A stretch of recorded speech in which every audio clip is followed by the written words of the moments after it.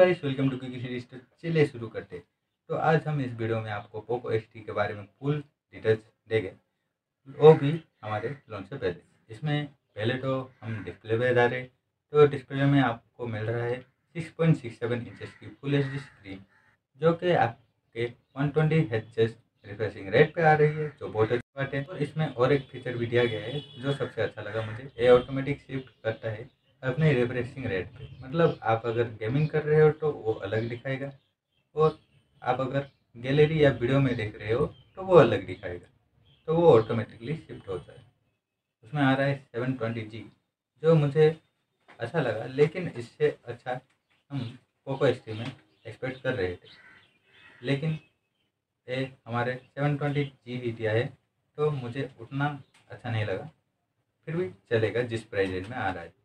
तो अगले पॉइंट में जाने से पहले, अगर आपको ये वीडियो अच्छी लगी तो आप लाल बटन पर सब्सक्राइब करें और बेल बटन पे ऑल मार के सेव करें। गाइस इसमें रैम वेरियंट जो आ रहा है, वो आ रहा है six G B and sixty four G B and six G B one twenty eight G और एक फीचर भी बहुत अच्छी आ रही है, वो है liquid one point zero plus का हार्डवेयर जो आपको गेमिंग के समय कूलिंग करने में बहुत सारी हेल्प करेगा। पिक भी दे दूँगा तो आप देख सकते हो आराम से कि क्या क्या फीचर है। तो बेसिकली इसमें जो फीचर है, वो है आपकी गेमिंग के समय वो हार्डवेयर को कूलिंग करने में लगेगा प्रेसिंग रेट है, वो कंज्यूम कर देगा, जिधर जितना चाहिए, उधर उतना ही देगा। तो इससे आपकी कूलिंग सिस्टम ज़्यादा बेटर हो सकती है। अभी चलते हैं कैमरा के ऊपर, और इसमें भी आपको मिल रहा है sixty four quarter camera sensor का नाम है M S six eight two जो एक अच्छा सेंसर है सोनी की तरफ़ प्लस इसके साथ मिल रहा है थर्टीन एमपी का अल्ट्रा वाइड जो बहुत अच्छी बात है, और उसके साथ दो एमपी का डेप्थ कैमरा और दो एमपी का माइक्रो कैमरा भी मिल रहा है।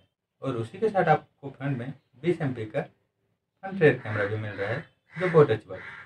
तो इसमें दो वेरियंट है कलर का shadow grey and cobalt blue इसी के साथ आपको एक बड़ी बैटरी मिल रही है five thousand one hundred sixty M पे आर की तो थर्टी थ्री वोट की फास्ट चार्जिंग भी मिल रही है। आपको मिल रहा है स्टीरियो स्पीकर जो इस प्राइस में मिलना बहुत मुश्किल है।